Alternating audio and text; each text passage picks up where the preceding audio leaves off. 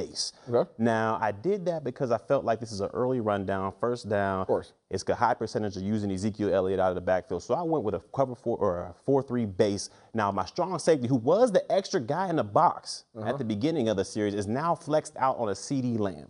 Now, in a passing situation, I would say, ah, I don't know about that. You don't want your strong safety matched up on your slot like that. But for this example right here, where we're going against the run, I feel like I have the advantage because Kazee in this opportunity or this instance, I feel like he can defeat the block of a CeeDee Lamb relatively easy and can help out on the run. So we still kind of have that extra run defender in the box to help out against this run attack.